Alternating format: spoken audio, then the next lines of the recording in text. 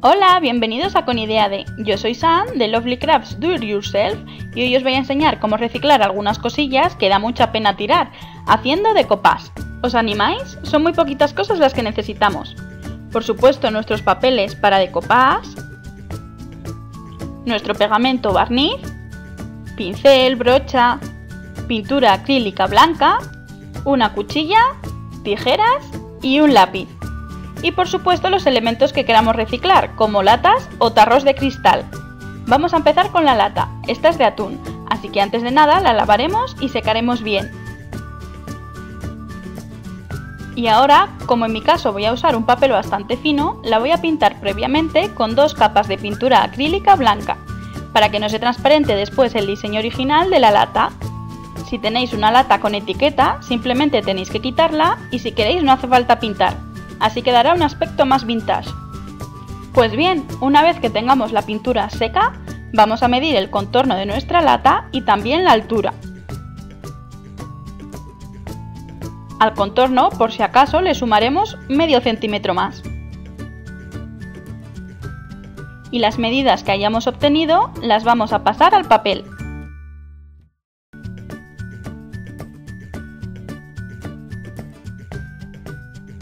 Lo recortamos y miramos que coincida. Y ahora sí, empezamos a pegar. Primero aplicamos un poco de pegamento sobre la lata. Acomodamos el papel y echamos más pegamento por encima, que además actuará como barniz. Procuraremos poner el papel sin hacer demasiadas arrugas. Y no nos debemos de pasar con el pegamento, sobre todo si estamos usando, como en este caso, un papel fino, si no se puede romper fácilmente. Os recuerdo que todos los materiales que estamos usando están en la web, conideade.com. Como veis, estamos llegando al final, y aquí es donde tendremos que rematar bien. Y ya solo quedaría dejar secar. Así que ahora vamos a por el tarro.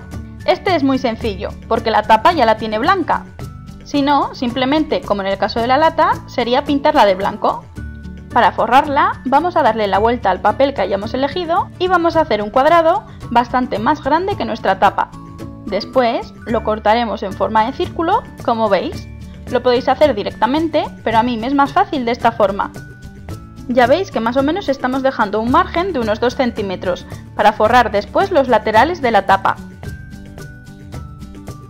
Pero vamos a empezar con la parte de arriba, así que echaremos pegamento por toda esa zona. Y vamos a colocar nuestro papel, centrándolo bien. Echamos pegamento por encima, del centro hacia afuera para eliminar arruguitas y dejamos secar. Cuando lo tengamos seco, vamos a hacer unos pequeños cortes alrededor de todo el papel sobrante, como veis en el vídeo, más o menos a cada centímetro y medio. Y ahora vamos a forrar el lateral. Simplemente echaremos pegamento por la tapa e iremos bajando las pestañitas que hemos creado. Y volveremos a echar pegamento por encima, como siempre, a modo de barniz, uniendo bien las pestañitas entre ellas. Nos irán quedando unas encima de otras y así podremos forrar todo el lateral sin que nos queden demasiadas arrugas. La verdad es que esta técnica está genial.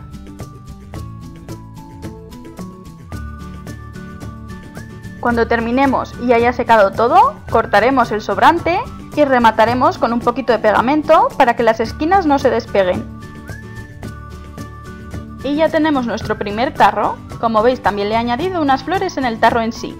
Y es que ahora vamos a ver lo fácil que es hacer decoupage también en cristal.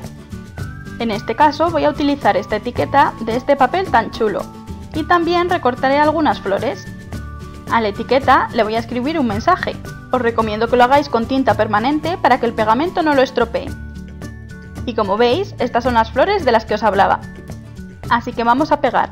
Vamos a colocar los elementos donde más nos gusten. Y vamos a aplicar pegamento por esa zona.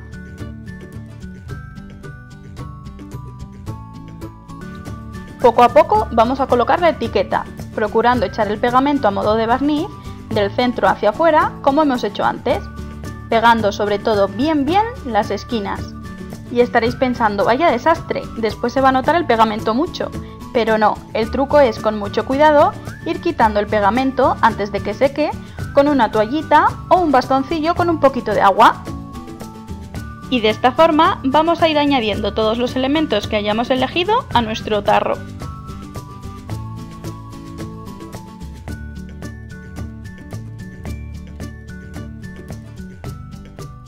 Y listo, ya tenemos de esta forma tan sencilla decorado nuestro tarro.